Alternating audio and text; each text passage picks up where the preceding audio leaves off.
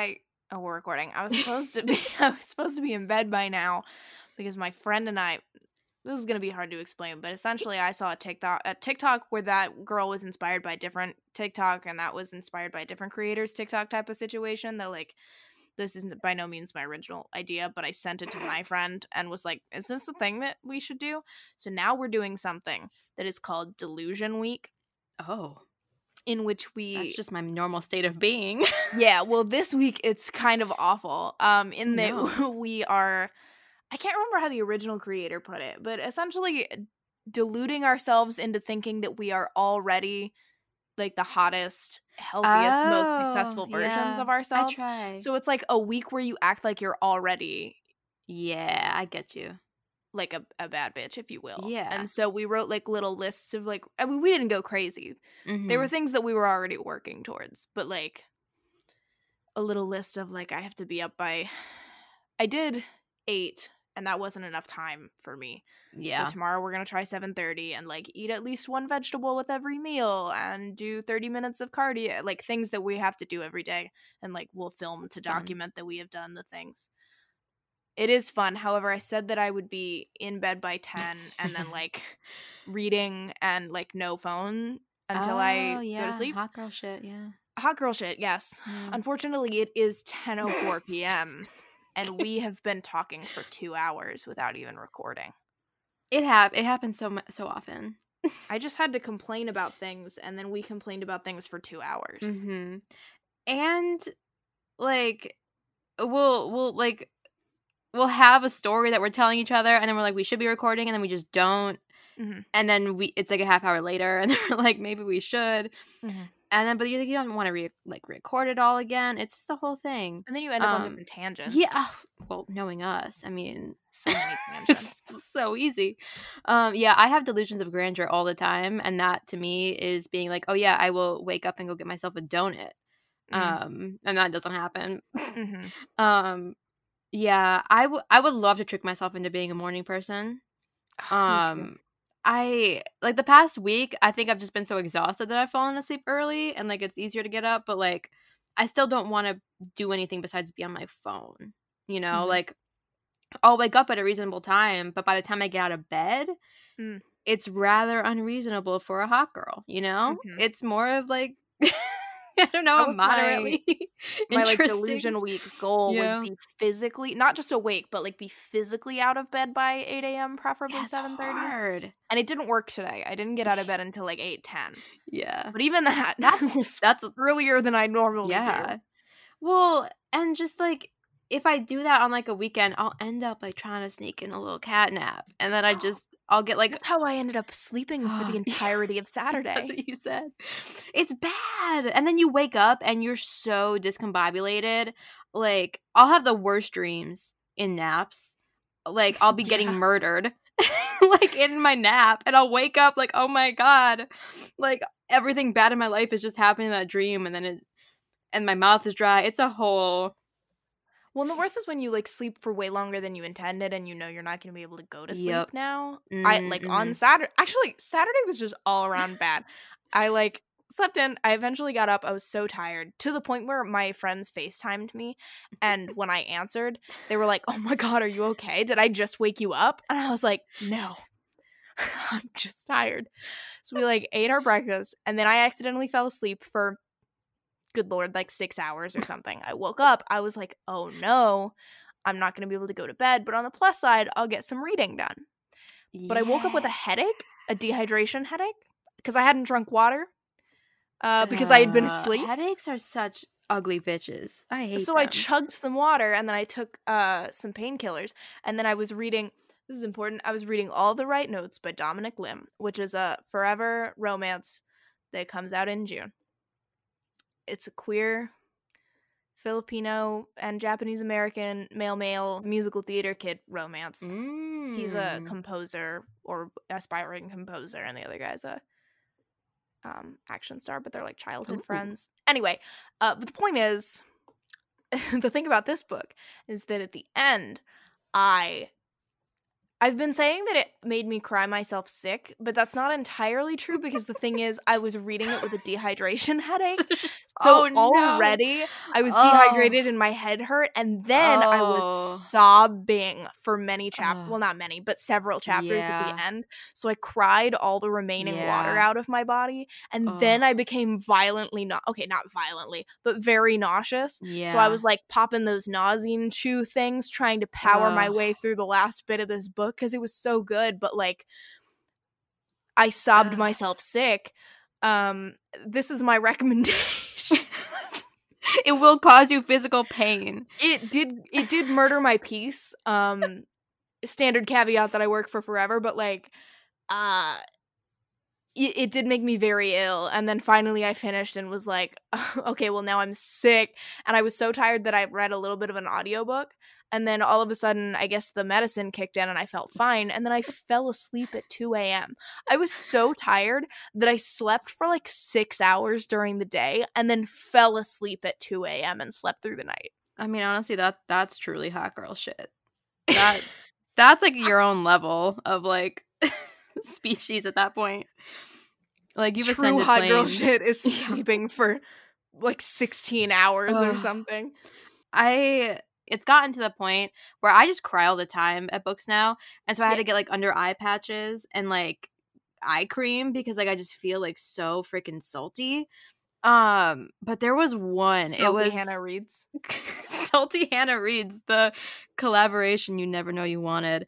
Um, it, it's Lorraine Heath, um, the Beast one. And I was in the bathroom, and on, I'm one of those girls who's like, "Wow, I'm so pretty when I cry," because my eyes, um, because like the red, um, enhances the green. So I'm like, "Whoa, um, so hot." But I was like sobbing into my towel on my shower. I was just like standing, like I don't know what that book did to me. I was like on the ground. It was just so uh, her epilogues guys they they do things to me that are unholy um and yeah and then i had like a headache for the rest of the night i was like unwell i'm like this is so unfair That doesn't just- tend to happen to me with books as much, at least Yeah. not with romance novels as much. You know what does it for me that I recently oh, rediscovered? oh no what There's a certain brand of country music. not where i was expecting you to go No one does. But like, okay, okay. So I live in Texas, obviously, but Mhm. it- my parents they always they, they just listen to country music, and so Mhm. there is a specific brand of country music that like anything was on the the radio channel KJ ninety seven in like the early two thousands because that was the Mm. radio channel that was on in the car, and that those were the years when I was being driven around. That like I now have a playlist that I because Yeah. I was you know country music wasn't cool because we live in Texas. Um, so once you're a teenager, unless you're a hick, you don't Yeah. listen to country music. Ew. Yeah. Maturity is coming back to that and realizing that actually country music is good, but only if you know what kind of country music to i love to. classic country i love it Anything so honestly, most things pre like I don't know, 2013 or something. Like pre the um riding someone like a back row body like a back row I don't think I know that one. oh he's like I got my body she's got a body like my back Uh, i'm like moguls well, I don't want that. Anything that's like danceable Yeah. country, I mean, da- like club country music, that's not what I want. hmm With with a few notable exceptions. There sometimes I will hear a modern country song that I'm Yeah. like, you know what, that's actually kind of fun. Or it'll be like spun with hip hop, and I'm like, I Mhm. like that. But most of the time, it's older, like Yeah. George Strait. oh george anything Strait that was can like fuck peak. me up No, I fucking love George Strait. Yeah. George Strait makes Yeah. me weep. yeah Um, anything Oh, that's like God. early Carrie Underwood Mhm, era. Mhm. Not anything, but there's a lot of songs from Yeah. that period. So I have a, a country music playlist, only one, and it's every country song that I like. Sometimes I find ones that unlock a memory from my childhood that I add on there. The problem is there's like the bops that I will Mm, like dance to, whatever, and I'm like, oh hell yeah, uh, the what the before he cheats, yeah heads Carolina, tails California, like yeah. goodbye earl etc right? Like the upbeat ones and then there's ones that make me sob and i have to skip them when i'm driving because i'm like oh no i'll cry. Um uh don't take the girl Mm, will end my life every time I have to skip it as soon as I hear the intro because I'm like, no, no, no, no, no, no, gonna cry. There are some that shouldn't make me cry, but I was listening to um I've been watching you by I think it's Rodney Atkins, I don't know, the other day. Mhm. And it's a song about um a man and his very young like 4-year-old son and Mhm. the whole song is about how the son is like watching him and copying him because he wants to grow up to be just like him. Yes. And there's a part where he like like the first chorus is him like mm. saying a bad word and then he's like, "Where'd you hear that?" And he's like, "Oh, I've been watching you. I want to be just like you." So he goes home and prays. And then when he's tucking his son into bed, he like prays like very sweetly and he's like, "Oh, where'd you like learn to pray like that?" And he's like, "I've been watching you, dad." And I'm like sobbing in the car. Yep. There's oh god, there are so many. I have a Hannah's classic country playlist. I love that. um yes, oh god. Uh Forever and Ever Amen by Randy Travis. Ah, tell me like- that that one just showed up on mine too. I love Randy Travis. Like I do too. Um, and then he was in National Treasure too. We can always get 6 degrees of um Nick Cage in here. yes, here. we can. um there are some other, there was when like, you say nothing at all, Keith Whitley, he he just even just like listening to Kenny Rogers. Uh, we have a CD cla- classic country crossovers. Um, that's like Queen of Hearts. It's like nine to five. Like it's like those like pop country ones of like the eighties. God, I grew up with that. Ugh. But then Just- the problem is if I shuffle it, you'll go from Yeah. like don't take the girl or one that it'll make me cry and there's no good reason for it to make me cry, but it's um Take Me to Texas by George Strait. I think Mm, it's just mhm. like a being from Texas type song, you know, one of those ones that like Yep. hits you right in the feels. But like on the last chorus, he sings uh, I mean on all the choruses, but specifically the last chorus when he sings something about like I'm a child of the Alamo. Like when I die, take me, don't take me home, like whatever, take me Yeah. to Texas. And I just like sing it and cry because I, bitch, me too. I'm a child of the Alamo and the Yellow Rose. I really am. Hook 'em. But like you can go from that, which is a very sweet song, to one of my other personal favorite country songs, Dicked Down in Dallas. Okay, I haven't heard that one. I need you to look up the song Dicked Down in Dallas. Thank God. It's unironically one of the best songs I've ever heard. Um ticked down in. and it goes it's one that like it goes so hard. Like it's musically a really fun song and you're listening and you're like why does this song go so hard? Oh my Um but lyrically wow. down, um. So this down this episode is now Dick Down at Twilight. Um. Just gotta just gotta put that out there. I hope that when you edited this you went in and just inserted the entire song into the episode so that I everyone was wish. forced to listen to Dick I Down I wish I could. If I was ballsy, I would. Um. Unfortunately, I don't want to get sued. Oh, that's fair. That's valid.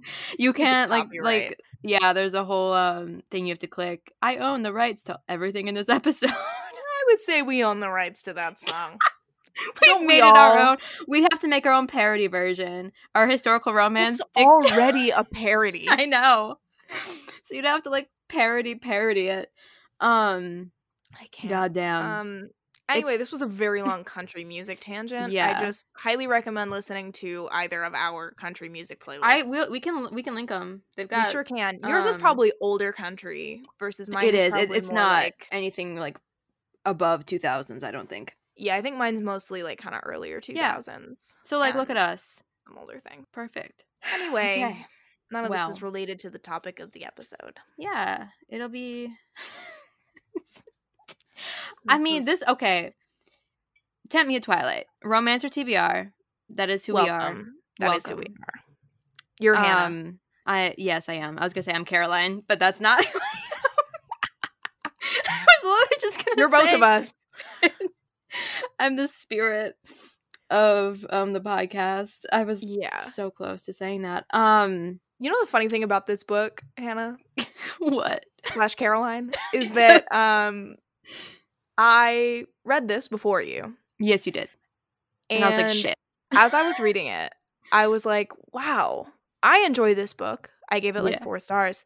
Hannah's gonna love this book. Yeah. And the reason that I thought that is because I was like, oh, he's like a proto Tom Severin. He is, and then I was like, the, the and then you read it and you posted you were like the Harry Rutledge to Tom Severin pipeline and I was like good It I uh I read that right I was I mean, okay, I also gave this four stars just because I think like so I immediately had to read Leo's book. I'm so sorry. I couldn't wait. I had to do it. Um and that one I flew through. spoilers for that one I no, I won't. Um a I Twilight we're doing all the spoilers Yes. Yes. I flew through that one. This one just took me a little bit longer to like get into and it was like a little bit harder for me to like pick up. Um but like once I got into it, I was like there for it. Um I so respect that man just fucking ending that relationship. yeah like Harry Rutledge What- never like gets better no. And I love him for it. Would I would I want someone to do that to me? Maybe not. But I sure as hell loved reading about him just I, absolutely I ruining this man. Honestly, like if If- if I could see the future, if it's this like hot rich hotel owner I was just so impressed with him just like being like, yeah, Ariana Grande, I see it, I want it. I got it. like just like Harry Rutledge said seven rings he knew what he wanted. He oh you like my wife gee thanks just bought her Just bought literally. Like he knew what he had to do and he did it and he didn't feel bad and I also didn't feel bad and I he never did I sure as hell I respect him so hard. wasn't there a moment it's been longer for me It, it Uh, has It's been a while since I read it. I think I've read like 12 books in the interim or something Yes. I'm unhinged. Um, but I feel like doesn't he apologize? He like halfway apologizes because Poppy's like Oh, his him and is upset about it. But he only like ha- he's like I don't really feel bad about it. But yeah. like, So his first apology is like that. He's like, I don't feel bad, and then he gets into it where he's like, because I wouldn't have you. I think like in his like more grand gesture or like the towards the end, he's just what's the third act of this book? he gets kidnapped. Oh yeah, okay. he fucking he fucking gets kidnapped and then she goes ballistic. I was like, yes, Yeah. queen. I was like, say, I was like, I didn't know if I was feeling it, but then I was like, honestly, I, I am, because like the person who I thought did it didn't do it. I was like, cool. He can just go. Uh, uh, I don't know, have a great life. Um, God, I love Lisa Kleypas. So I know, and he was just like gone, and that that was like after the huge like declaration of him being like, "I'm sorry, like I feel so bad that I can't feel bad because like I love you too much to like regret it." Um, and then he's just gone, and she's like, "Where is he?" no one can find him, and then like he was just in a fucking wall. Like, just- I mean, a very random, a random part. Yeah, but like um, it makes so much sense. it did. because it's Lisa Kleypas. it did. So you're like, she's not gonna break them up, really. No, and that's There's just I gonna be some like wild, completely out of left field. Someone- someone better be getting shot, getting kidnapped. Like that's the third act. Their that I hidden sure identity love. is being Hidden i- revealed. yes. Or yeah, and then he gets like in a carriage with the people who are trying Right. to arrest him and bring him back to America, and then he gets dumped in this like Right, and stream, and there's like a dead. huge storm, and then they think he's dead, which is one of my favorite tropes. Just one thing after another with Matthew Swift. Ugh, I love him. Somebody I better be on their deathbed. Oh yeah. Or the, We're you like know, like a- telling the doctors they will not bleed someone. well, and then that know better. He Rutledge had the moment where he had to have the two doctors and the two opinions about her like sprained ankle. Oh, That and the funny thing about fun. that was that he was like, "Get another doctor. I want a Yeah. second opinion." Before the first doctor had seen her. Sh- Poppy fell so I could fall in love. It was at that moment that I was like, this man, he can do no wrong. You know, I was like a little bit hesitant, and then he did like everything. He like got her the chocolate. I was Oh no, it, it was way before that for me. It was when um what is the Dodger was burrowing into his chair yeah. during their very first meeting. So just, has you were no just idea immediately who he sold. is. Well, you already got me when he like I know who he was, but Poppy didn't. So I was like, Yeah, yeah.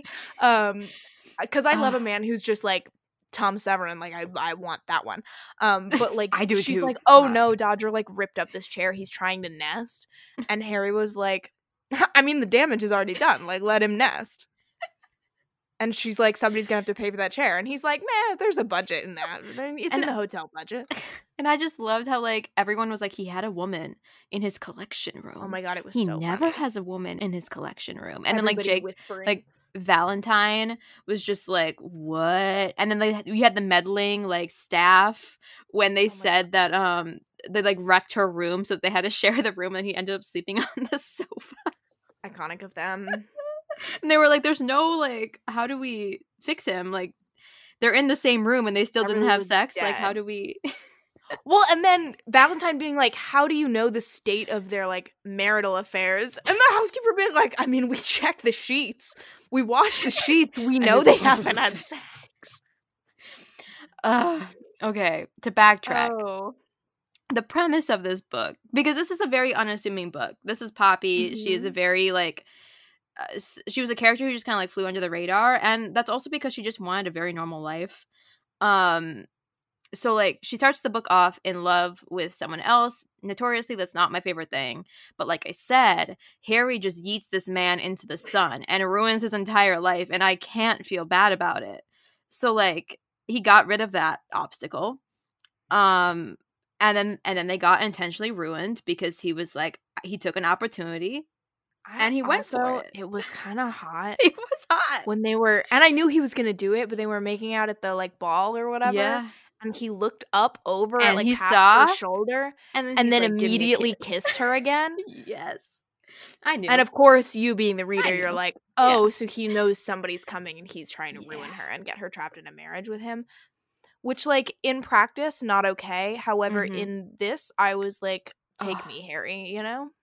Like literally i just i just loved it because then you got the dramatic declaration of was it michael Bayning or whatever at the wedding saying that he like went to my father and he like did this so Mhm. then she like still got married so honestly queen of her too because i was like so scared that they were gonna like delay their marriage i didn't want to deal with that but then they just they got married and Well, because she knew she was ruined. yeah, exactly. So like I was I really appreciated how she just accepted it. and then was like "Uh, we'll, we'll just see what happens. And like she was kind of obviously pissed about it because her two sisters had love matches and stuff. Um also wasn't Harry kind of like, I mean, I took you. He could have taken you. yeah, well and that's she like didn't quite realize it like at that moment, but then when she kind of could like rationalize it, she was like you're right. Mhm. like he didn't because like you all knew that um this Bayning guy his father controlled his entire like all the purse strings and he wouldn't have let her marry him anyway. And like she gets to a point in the book where she's like okay you're right. Like he never like i never would have been able to marry you. You were just like dragging me along. Because you like the guy didn't seem like all that bad but he just obviously wasn't willing to fight for her um because at that like rutledge was like take her then. He's like you can literally take her out of this church and go marry her. And then the guy still didn't do it and so like when she could go back on that and recount just how he didn't fight for her then she was kind of like okay yeah um, we're here it's fine um You know what I this is reminding me of? Not like when you put the books side by side, they aren't very similar, Mhm. but just in like kind of the setup and the premise and the hero. Portrait of a Scotsman yeah with the entire like he purposely ruins her so that he can marry her and he's like, Yep. I'm not good enough for you, but I want you anyway. and that was my issue with that book because i was so on his side like i did not care i was like and like I obviously mean, had they like, were already married by the time Yes. Hattie realized that Yeah. he had done it on purpose. Yeah. Versus um that that's knew going in. Yeah. So that was that was a definite thing that you got it out of the way earlier. Um but I do like to see men suffer, so it is also fun when they like punish them. And in this case, she just like he was like I just want her to smile at me and she's not smiling at me. Like she's just kind of pissed off at me. And I just I loved how he um just saw her smiling at other people and then she just wasn't smiling at him and he was sad about it. And then the whole six scene happened and oh god. I just want to note because we kind of skipped, but we've talked about the ferret, or I talked about Dodger. Yes. Yes. Um, what I haven't talked about yet is, of course, the hedgehog, Medusa. For those of you who don't know, hedgehogs are like maybe my favorite animal. I love them, and I'm currently Mhm. on a quest because for some reason I read like several books that all had romance books. I mean, that had hedgehogs in them. Yep. Um, and the the next Erica Ridley was announced, and there was a little police on the cover Mhm. in the police part. So I was like, well, it looks like I'm now on a quest to read all the romance novels with hedgehogs that I can. And this one, of course, will probably play a bigger role, I assume, in Beatrix's book. Yes. Um, yeah. because it's she's the one that loves the animals, but she has a little hedgehog named Medusa, and Medusa is very near and dear to my heart, specifically because there is a scene. that true. That it's was the only thing I wrote down a quote from. Mm, It was the only quote I wrote down, and it's when Poppy and Harry are walking around in the garden, and Mhm. Bee is pretending essentially to chaperone them, like she's out there, but she's Yeah. not with them. Um, and she's walking Medusa, the hedgehog, as you do, Cause she's too plump. because she's Like, too the plump. visual, I was like, oh, I just. That's the cutest thing in the entire world. Um, and Medusa gets away from her and like goes under one of the hedges and toddles her little way across into the path. And I think Poppy like kind of tries to stop him or is like, Mhm. oh, like you know, she's She's prickly, like- whatever. Yeah. And he scoops her up we're both like and like lets her little toddle into his hand, and she's open like, him. talking about the hedgehog. And the only quote from this entire book that I wrote down, because this is when she's trying to decide if she's gonna marry him. Mm-hmm. is a man who could charm a hedgehog and understand jokes about ancient Greek poets was a man worth taking a risk on. And never before has any quote ever been so Caroline coded. You had me at hedgehog. Those are like the two things. If I'm sorry, if a man understood a joke that I made about an ancient Greek poet and charmed a little hedgehog in front of me, let me tell you, we're not waiting for the wedding vows. Um, are you joking? Is this a joke? I don't need to know anything else about that man. That you're right. That was a pivotal scene for me. I was like, he can do anything, and if he's like this kind to like these little animals, And, like, like- little, little animals, because like Beatrix was like on his side. She was the only Yeah. one who like wasn't angry because she's like, he's good with animals. Like you two are just kind of like animals. Like you're gonna was annoy iconic like, for that. Yeah. Oh. And because she was, cause she was like, who? Um, Poppy was the rabbit, and then uh, what was Rutledge? Something um, to like chase the rabbit, or like the rabbit to like annoy. I think he was. Was he a cat? Was he? Yeah, a cat. Yeah, I think something. And the rabbit has rabbit. to rush the cat in order Yeah. to like, because otherwise the cat would chase the rabbit around. But if Yeah. the rabbit rushes the Yeah. cat, they can be friends. Yeah, yeah. I just she was a she was a good a great character in this book. Just Mm-hmm. also because she was the only one who wasn't like actively trying to get Poppy not to Yeah. get married to this man. Um, I mean, th- they had their. It's just like everybody was trying to get Cassandra to Yeah. not marry Tom Severin because they're Yes. like, oh, he's not great. But like, and then I mean, in that book there was also a ruination, but like he didn't ruin her. Um, a dick ass man. Mm-hmm. no, did. he just bought an entire newspaper to save her. I need to revisit that book. I loved that one so much. And like we said, he's like this is like a uh, They're not quite iconic. the same. No, but, just like an iconic like Lisa Kleypas like hero type. yeah, they they feel very similar. Mm-hmm. Um, but also speaking, I this is now the second book where I fell in love with a romance hero because he coddled a hedgehog. Thinking about you, Elizabeth Everett, the perfect Great equation, Cliff. where he holds a hedgehog even though he doesn't want to, and then is like, "Oh, look at her little nose; it's shaped like a heart." I Shut up! love that man.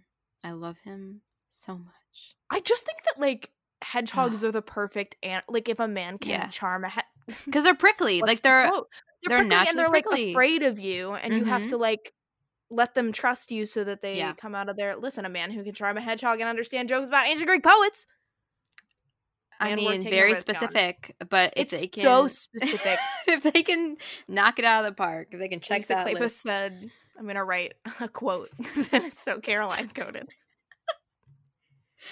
I she just, knew Uh, she did, and that's why I was like, because I I said it before. I think in our seduce me at sunrise, I was like, you know, I just feel like we're gonna love tempt me at twilight because like we have no expectations, like we have like nothing, like I have no, like I don't even know who this poppy person is, like I don't know.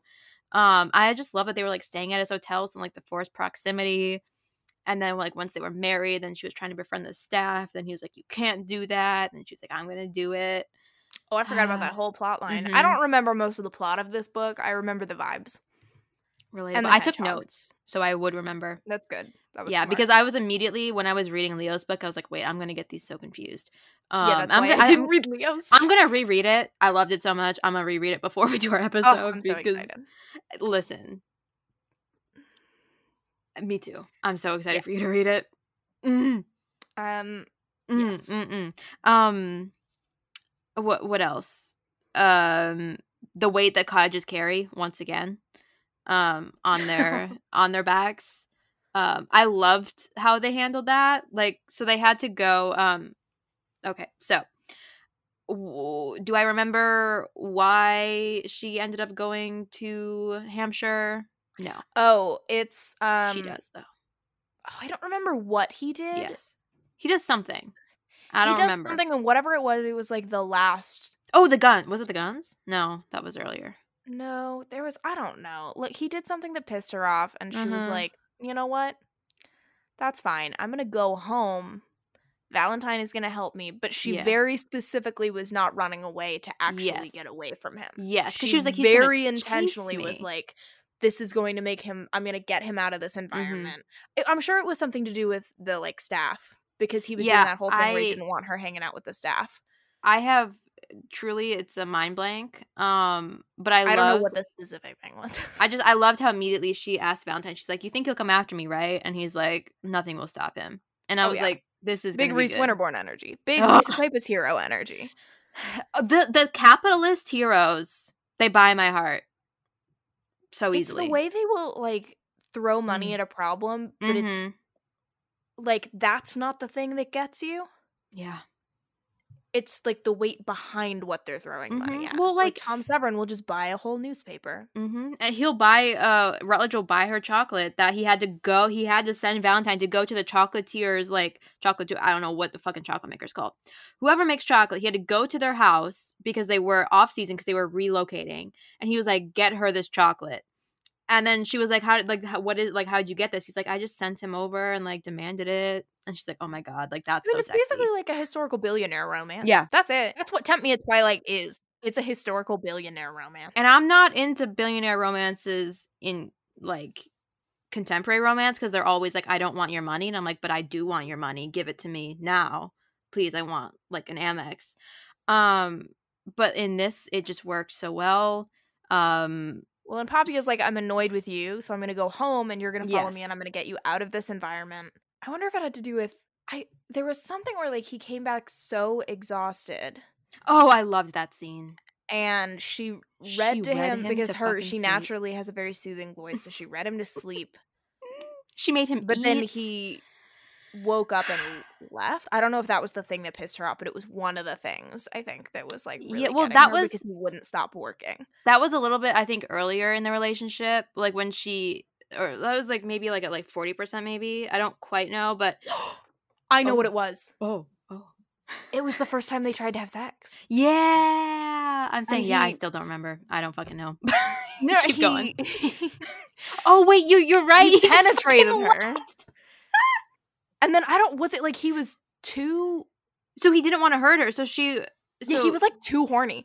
Yeah, he was inside her, fully erect. This man, and then he's just like, "I'm sorry," and just y- goes he- into the bathroom. He's like angry about it, but Yeah. he's like angry at himself because himself. he's hurting her. But he Mhm, didn't and he explain it. any of that to her. No, He just left. she thinks she's done something wrong. It hurt. Like she's like in great pain. Like she is not enjoying this. Yeah. Like they've tried to like they've got to a point where they were pretty close and like they both wanted it. And then so she just felt super hurt that he just like left and he didn't explain. She didn't know. well, and then that and leads was to one of the funniest scenes ever, which is her bullying Leo into talking about male problems. And Leo being like, I'm not having this conversation with you. and she was like, "What? What was it?" Um, he was like, "Did he?" He made some euphemism about, about how she was like, "Did he not get hard?" And she was like, "No, he was. he was like too hard. Like it was just." Yeah, she was like, no, he was super hard, and Leo was like, I actually want to die. Yeah, like he retreated while still being hard, and he like I just the visual of a hard, erect Harry Rutledge just walking into the bathroom and like a George Clooney run. Yeah, I was just the sentence, just fully erect. It just, just sends me. I actually like the idea of him like arms straight down by his side, Yes, just, just like speed waddling. walking out of the I just I it was so good. So then yeah, so then she is just hurt. She's baffled. She doesn't know what to do. So she's like Hampshire cuz Leo already he was like I'll give you a week. Like you're going to last a week and then you're going to come to me and then we're going to go home because you're not fit for this marriage. He's too unemotional and brash whatever. I And respect I that Leo was like, yeah. I'll get you out. Yep. He's he, ugh, So I will be waiting. I'm not leaving town. no. He will he get you out of there. God, I love that man. Um, so then I think she lasted like two weeks. He's like, you lasted like a little bit longer than I thought. So like, kudos to you. Um, and then I just I just loved how she wanted him to follow her because sometimes like that could like disrupt the plot. You know, like if they were finally like making headway and then she gets angry, but she wasn't angry. She was just sad. And then he follows her, and then there's a cottage. Ugh. I loved it. And then he had to like go and like defend himself to like the family, and then there was like Kev and Cam, and because Kev is like huge and Harry's pretty big, so then they were gonna, like straight brawl. up murder Harry though. oh my god! And then uh, when they were like, "Hey, you need to distract Kev. Win, like you're the only one he'll listen to, and he's about to murder Harry." And she's like, mm, "Good point. Hey, Kev, I'm pregnant." Ugh. And they were like, "Wow, quick thinking. How'd you come up with that?" And she was like, "No, I actually." And then Kev is just like Kev's just ceases So to function. he's so scared. Ugh. I I do love like the Hathaways, like yes. their like family Dynamic? I think Yeah. Kleypas writes really good group dynamics. Mm-hmm. I just like you said, like um, you liked Cam more when you could see him in the vignettes in like book two. Same thing with like Kev and like Win. Like we like there were no vignettes of them really in this book. That was um Mark's and Leo. Like you got Mm. their POVs a little bit because we're setting up that book. Um, but yeah, I just love seeing them all happy and doing their thing. Wasn't this the Mm. book where um Mark's Leo comes back and they're like, "Don't make fun of her because she accidentally She dyed, her, hair." green, and then he's like, but then "Oh, she that's hadn't. well, because so she had dyed it green, and then they put it. Well, but by like, the time a- Leo gets yeah, there, so they put a solution. He's like, she's gonna be this, she's gonna be that. I'm gonna have like fodder for days. I wish I had written the quote down because that's the other like if there were gonna be an- another quote that I had written down, but they were like, "Leo, do not." Go bother Miss Marks right now. Like She is please, delicate, She, is is having fragile." a bad day. Just leave her alone. And he's like, okay. And they, I think one of them is like, I give him three minutes or Mhm. something. And then the next line is like, two minutes and 37 seconds later, Leo is on his way to find his arch nemesis or something like that. And then she has the most beautiful hair he's ever seen because she had dyed it before, um, to like a mousy brown. Um, Yes, Which and I never know- that's not her natural color. Yeah. So then he's like, she dyes her hair what? And then um when he sees her like blonde, luscious, golden, wheat spun locks, he's like, Oh my god. he was. I just love love their dynamic and then uh Oh, they're so funny. Leo is so funny. like just genuinely in every scene, with the exception of um, Mine Till Midnight because he's still, Yeah, like, deep. he was going through it. Mine Till Midnight. Uh, but every time Leo shows up, he's so funny. I'm trying to like I'm downloading the ebook literally right now in this moment so that I can find I do wish the very specific quote because I lost my mind. I go through that um with like books all the time. Like I wish if you got like if you like buy an ebook or if you buy like an audiobook or buy a physical copy, I wish you got the ebooks that you could search I found it. because I need to search. it's in the first chapter actually. What? I think. What? Me- The quote that I was looking for. Really? Just kidding. It's in the 19th. I was like, when I first searched it, it came out as like number one. I don't know why I said Oh. that. Whatever. Um. So we have. Uh, I don't know if it worked or not. Amelia was helping her to wash it a while ago. No matter what the result is, you are to say nothing. You're telling me that tonight, Marks will be sitting at the supper table with hair that matches the asparagus, and I'm not supposed to remark on it? He snorted. I'm not that strong. Please, Leo, Poppy murmured, touching his arm. If it were one of your sisters, you wouldn't mock. Do you think that little shrew would have any mercy on me were the situations reversed? He rolled his eyes as he saw their expressions. Very well, I'll try not to jeer, but I make no promises. Leo sauntered toward the house in no apparent hurry. He didn't deceive either of his sisters. How long do you think it will take him to find her? Poppy asked Win. Two, perhaps three minutes, Win replied, and they both sighed. In precisely two minutes and 47 seconds, Leo had located his archenemy in the fruit orchard behind the house. and it took me out. Because it's a paragraph break, but when you're listening to the audiobook, they're just like, ah, like Yep. that felt very cinematic to me. Yep. like immediate cut to Leo, like scurrying to go find her with her cream hair. Uh, it's in Ugh. precisely two minutes, and also calling her his arch enemy killed me. Their dynamic is so good. I love them. Oof, that epilogue, or was it the epilogue, or was it just It- like a? a it last was- Scene It was like the last part of the epilogue. Um, he like walks into her room and he's like, "Should we talk about what happened?" And I was like, "Yes, we shall." And Yes, I ran down to my room. I found my same book. Feeling as the um Evie and Saint Vincent epilogue at the end of It Happened One Yeah. Autumn, where you're like, huh? Yep. Huh? Ugh, I like I couldn't restrain myself. I had I had thoughts. I had hot girl thoughts, and then I was so weak. I wasn't the I wasn't the main character I wanted to be. I just had to I had to read it. And so like um to get to get back onto uh, the other Rutledge and Poppy. yes, Uh, so he shows up. He has to go through all the family members, and she's just hanging out in a cottage. She's like waiting for him um, to come and you know try to make up, and then it's their like honeymoon. Ugh. Then he was just so peaceful. He still had like all of his correspondence um, with Valentine and stuff, but Well, but LOL at him being like, "Yeah, we're not coming back," and Valentine being like, "Confusion," and all the staff members being like, "He's never taken a break ever." And he's like, What he's on you mean? vacation. They were like, he's on a honeymoon. And then, like, when he gets back, he's like, Valentine, you need to go on vacation. And he's just like a changed man. God, I love it. I love that. Uh, Some people say you don't have to change for love, but I sure love to see that. I think You that's know? why, like, some people, and to a certain extent, rightfully get really upset with like the idea that Kleypas writes so many capitalist heroes, and like Yeah. joke that like she's very capitalist and she makes that known in her work.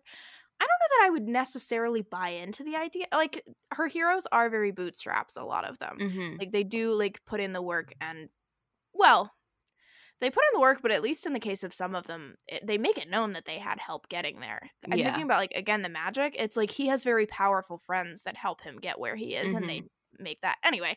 All of that aside, the thing that makes me think like I don't necessarily have a problem with these capitalist heroes is that almost all, if not all of them, at least all the ones that I have read, they're like bootstraps business mentality is the thing that nearly costs them their humanity and Yeah. it's human connection that pulls them out of it that like Yeah. reconnects them to that humanity it almost feels i don't want to say anti-capitalist because i don't know that i would go that far but like i really like reading about like a Mhm. tom severin type who's dedicated his entire life to business and has only had five feelings ever and doesn't know how to have uh, friends let alone a romance and has to like Mhm.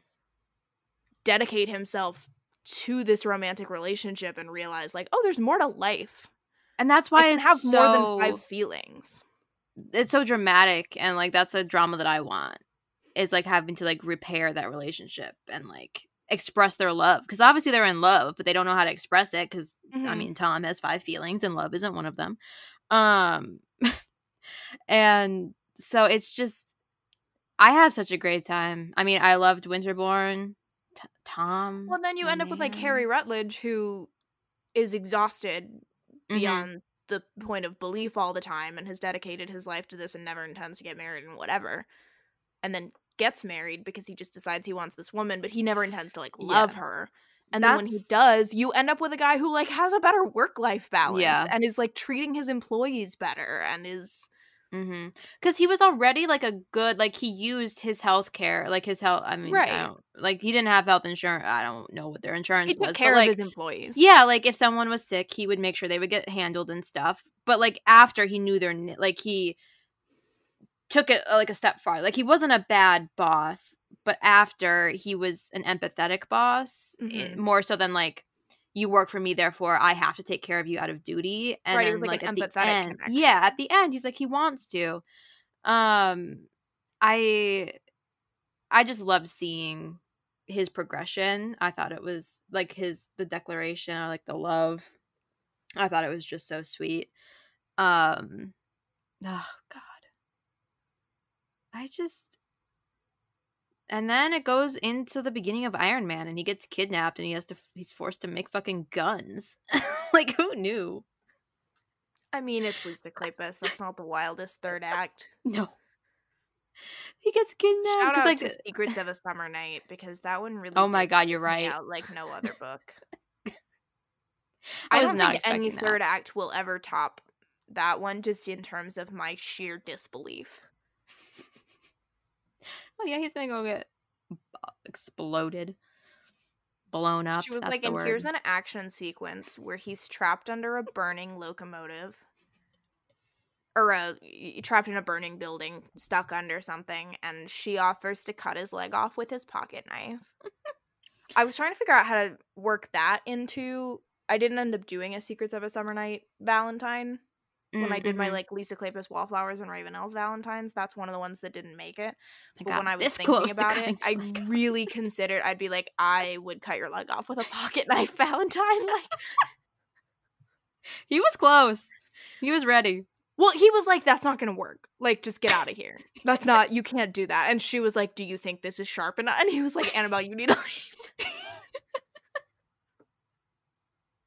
I just, I was, because I was getting concerned about where the third act was gonna go.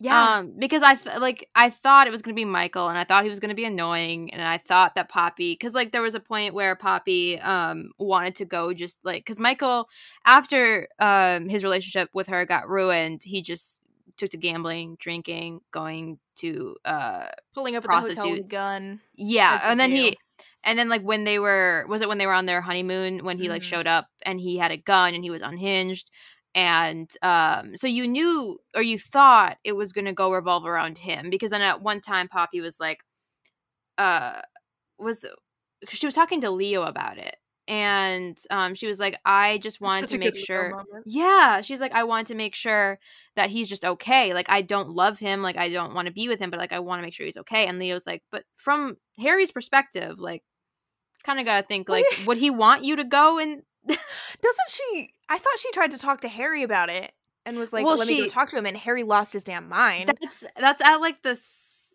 I think there are Well, like 'cause two I- I think he says- points. I don't.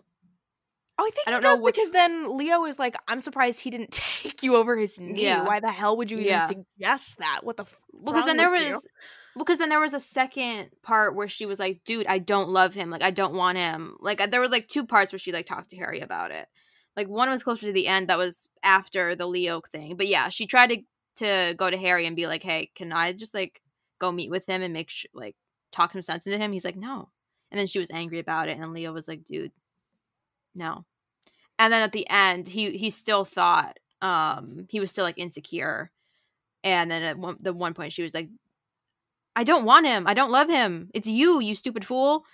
And that was a good that was a good line. Um I don't remember. I it, may like- not have her heart, but I'll have the rest of her. and then of course he wants the heart too. I do love a hero. I really love like I I love the hero who doesn't think he's good enough. But I Mhm. vastly prefer a hero who doesn't think he's good enough and is like, luckily for me, I'm gonna take the thing that I want anyway. Well, exactly. Cause I'm a bad guy and I'm gonna take the thing versus Yeah. the one who like refuses to be with Ugh, Kev. yeah. I don't like the Kev brand No. of I'm not good enough. No. I want the Harry, the Tom Severin, the Yep. Rhys Winterborne. Yep, exactly. Because I hate I want them to be decisive. I find that hot. Like I don't like the waffling and the self-pity cuz honestly some of these people they have reason to self-pity. Like they that is okay. But I just don't like when they think for the other a lot of times they try to be like this like in the long run she won't be happy. Like they try to think like Mhm. as if they were the heroine. But Harry's just like I don't care. Like I want her. I will have her. Yeah. Like, Now in real life, yeah. red flags everywhere. Yeah. Um however, in my historical romance fantasy where we know he's the good guy, or at least well, because he's like, the, I'm the villain. romantic hero. Because like there was there was also a great line where he was like, the princess um ends up with the villain, but the villain treated her better than the prince or something. That is good. Um I now forever will be um associating Harry Rutledge with I could be a better boyfriend than him. Yeah. Every time Harry Rutledge walks into a room now, it's gonna be slow mo, wind blowing in his hair. I could be a better boyfriend than him. Like, yeah, that's it. Just that song on Yeah. a loop. Yeah.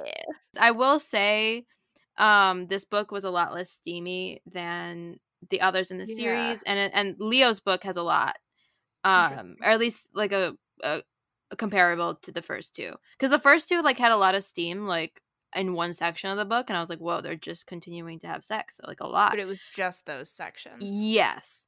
Um this one obviously like it didn't I don't think it really needed more.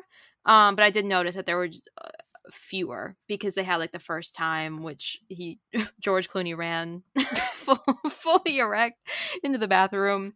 Also, um will be linked in notes now. Is that it's from the clip. movie The Descendants and anytime someone references running, it's all I can think about. And then I told you because it's just so good. Like that man just takes off in his flip flops, and he's God.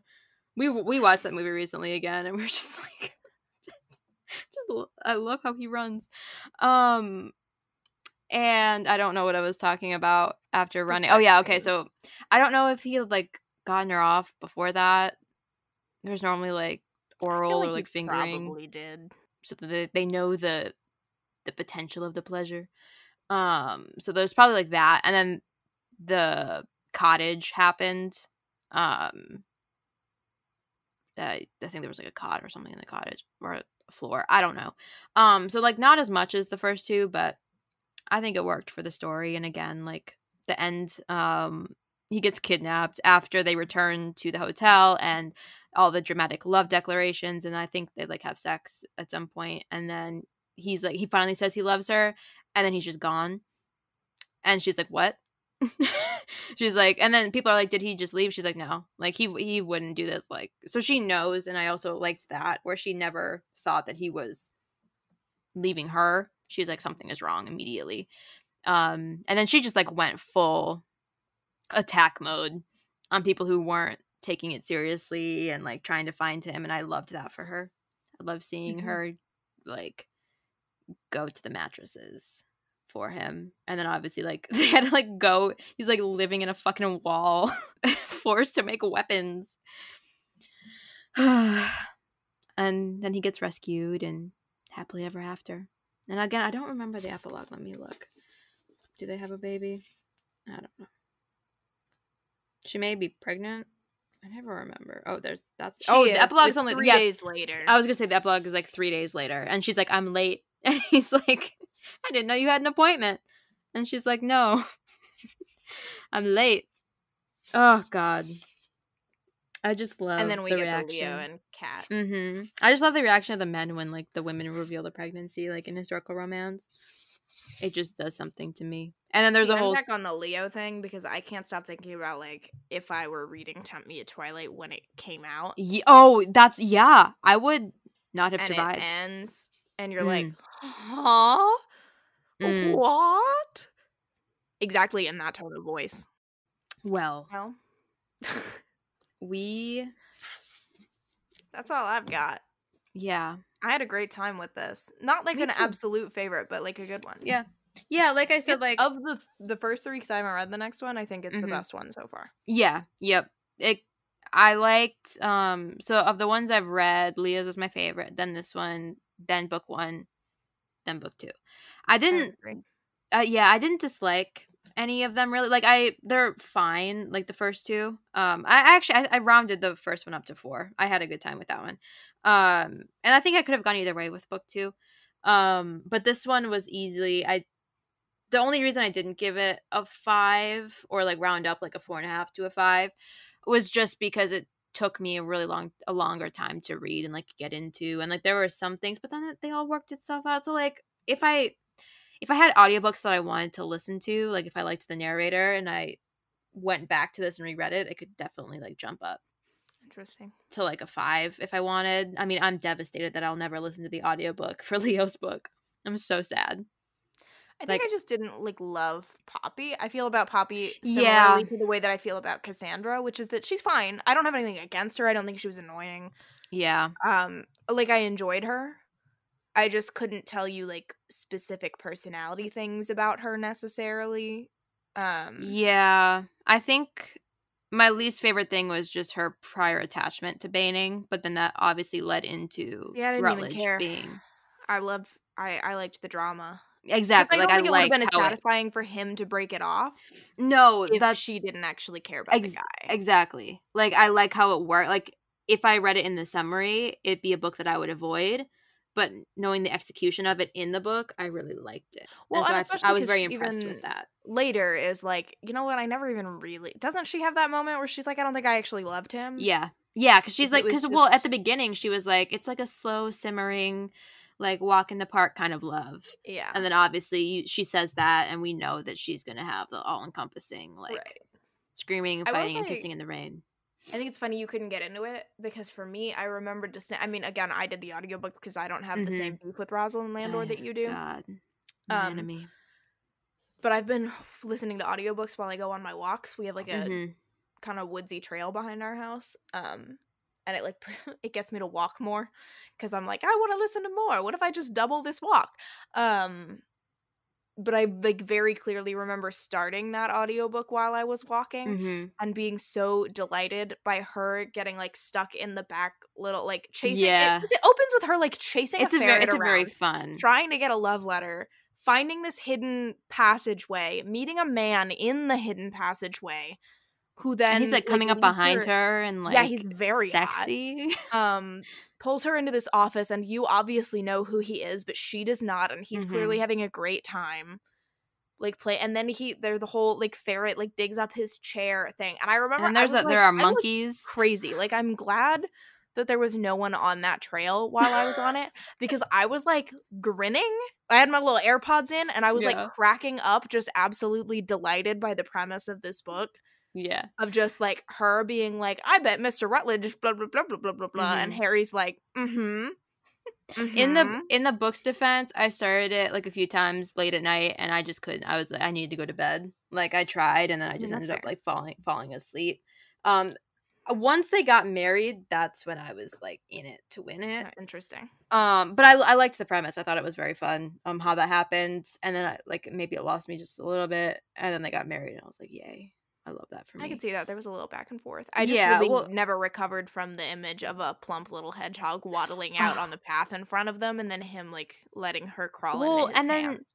and then the part that dodger plays just how he Stop, loves I love Dodger. Ugh. Every time she mm. described, there's like a very specific movement where he does like a little victory dance where he kind of like hops sideways.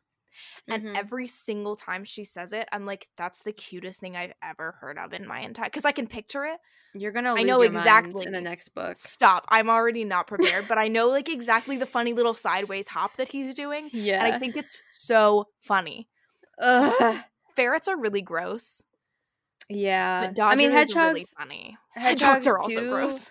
do- I don't they like they poop when they run. So like when they're in their wheel, they like exercise the shit out of them. Literally. I heard that there is a way to train them. I heard you can Oh, actually that's litter train hedgehogs, Huh. but I don't know. That might be a thing that requires like tons and tons of work. I have no idea how accurate that is. Gotcha. I just really briefly have been considering just not telling my parents and going out and ad- adopting a hedgehog. someone I just really want one. someone on Bookstagram has a hedgehog. She bought it um Oh. a couple months ago, and I think he's like a very prickly head. Like he's got a personality, and I'm just like, I'm so jealous Oh. of you.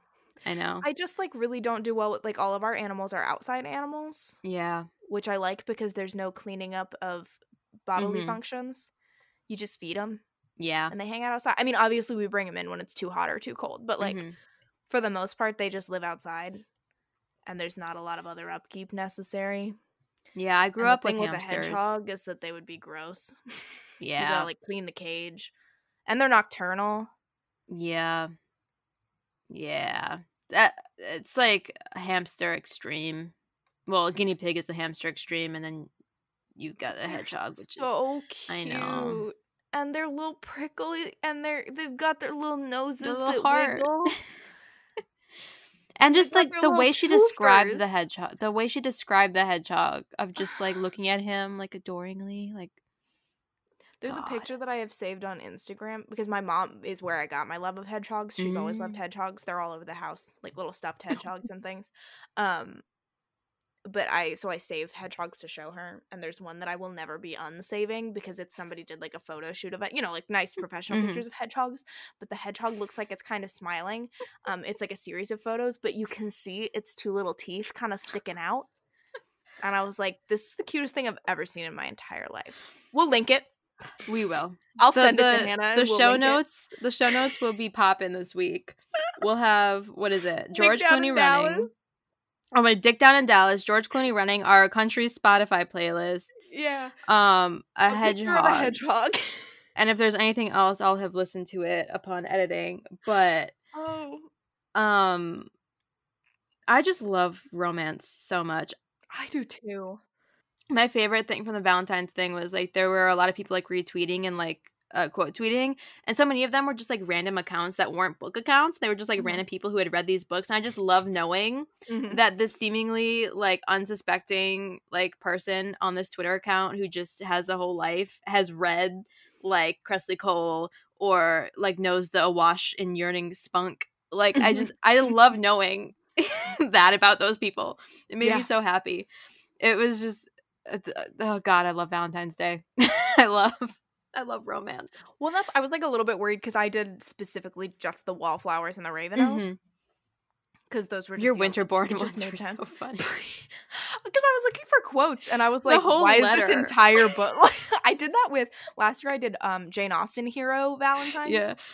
Or Jane Austen male characters because some of them were not heroes. I think I was I for, think I was uh, following you at that point, so I think I remember those. I feel like your Valentine's last year might have been they were either the thing that made me follow you or like they were one of the first things that I saw. Like somebody had shared them and I was like, this is or it was uh, like one of the earliest things. Yeah. Whatever. The Captain Wentworth um persuasion one was just his entire letter copy and pasted. and I was thinking about me. that and I was like, you know who else has a letter that I could copy and paste? Rhys Winterborne. But Rhys, I was looking up because sometimes I just go on Goodreads and look at quotes to see if there's Mhm. anything good. The problem is that um the entirety of Marrying Winterborne is just Rhys Winterborne saying the most romantic, insane things you've ever heard in your life. And I was like, how am I supposed to choose one of these? I couldn't. I made four. Um like- My f- oh, just but my point was, I was worried, like with the ones that didn't have specific names in them. I was like, are the step backs recognizable enough, especially Mhm. with like the wallflowers that people that aren't super in the weeds of historical Mhm. romance are they gonna know? And I shouldn't have worried. they'll nature will find a way. They That's all knew. no one. I was even where I was like, maybe I'll get a comment that's like, can you list the books? No Mhm. one did. They all knew. Yeah, there was one on mine, and I think it was, was it was the Duke of Sin one. Um, and I was like, because it was just a step back. Um, but I I was worried about the Lothaire one. I don't know. That was like my least like I, that was the one that I had the least like emotional attachment to, or like I didn't feel as str- like not like one of the most recognizable. yeah, well, not not like emotional attachment. Like I didn't have as much faith in that one that it was like because well, That was probably the best one. because I needed I needed an extra one. Like I wanted, Mhm. you know, to fill the ten slides, and I was thinking because I already had um the a hunger like no other one like that. I had Lachlain's locked and loaded, um, and then I was thinking about it.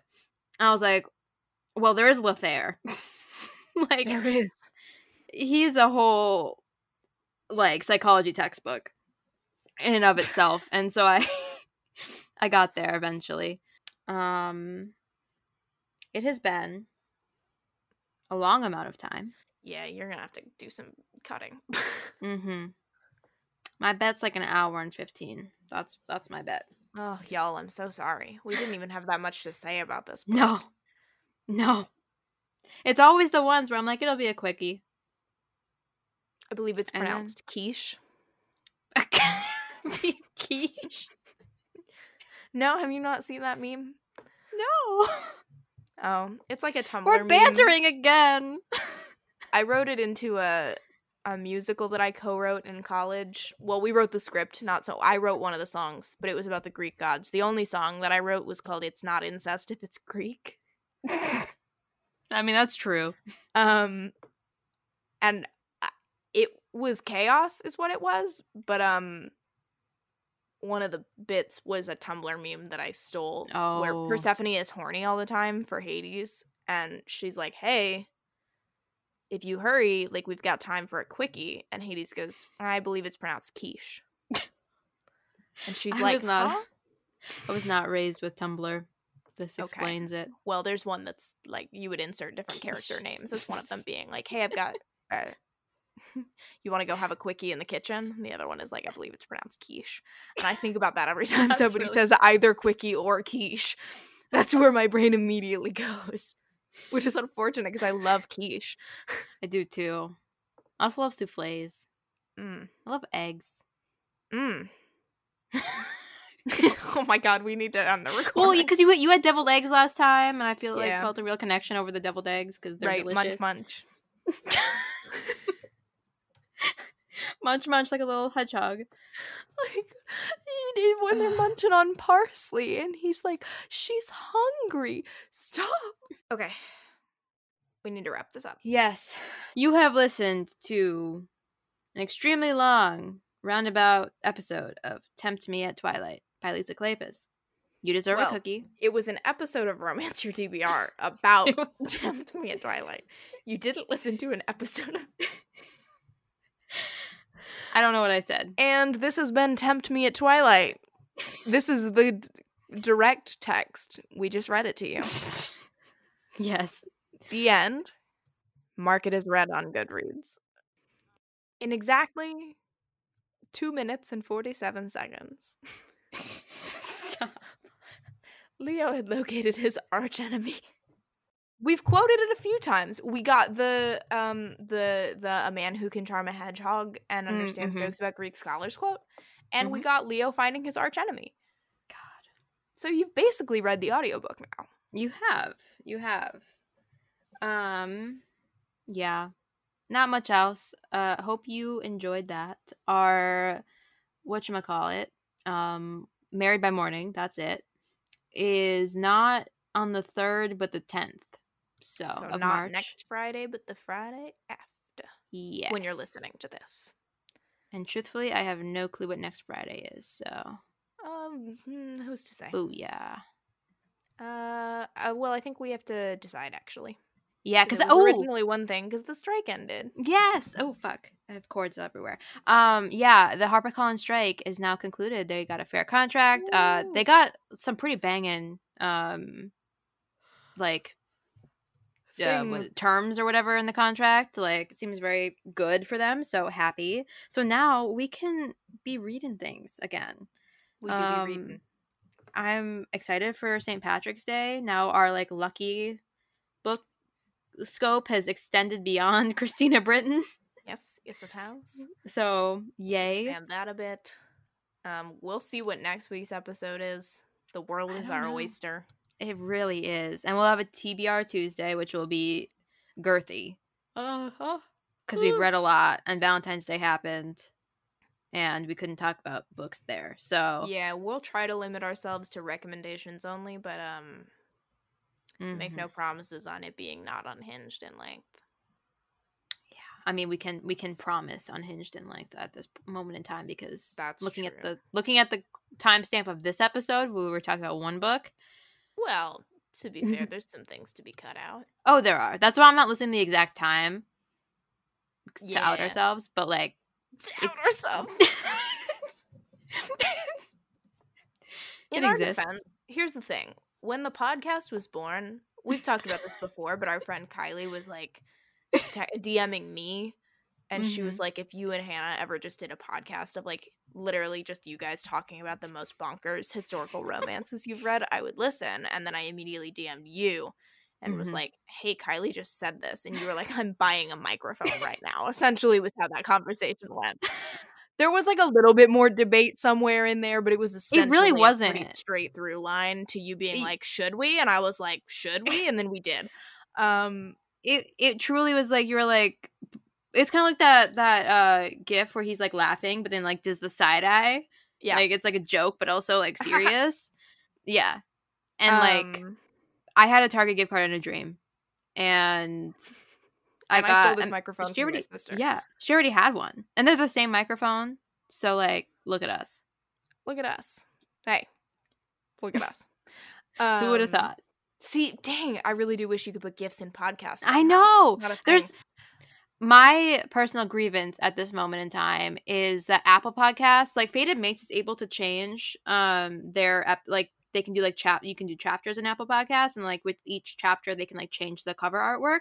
But I don't know what editing they use. Like I don't know Oh, what no idea. software because the one that I use, you're technically able to do that. Like I can add images in, but they don't work. Like our Valentine's episode doesn't have the Valentine's cover on Apple, but on Spotify it does and like and i don't know i don't know how to change it i've googled Uh. I, I i don't know um it's beyond my control at this point um so if anyone knows Let us know. i'm receptive Well, at any rate, my point was this podcast was born out of somebody being like, "You guys have the most unhinged conversations about the Yes. most unhinged books. I would love to just listen to that." And I was like, "Yeah, we can just record ourselves being insane."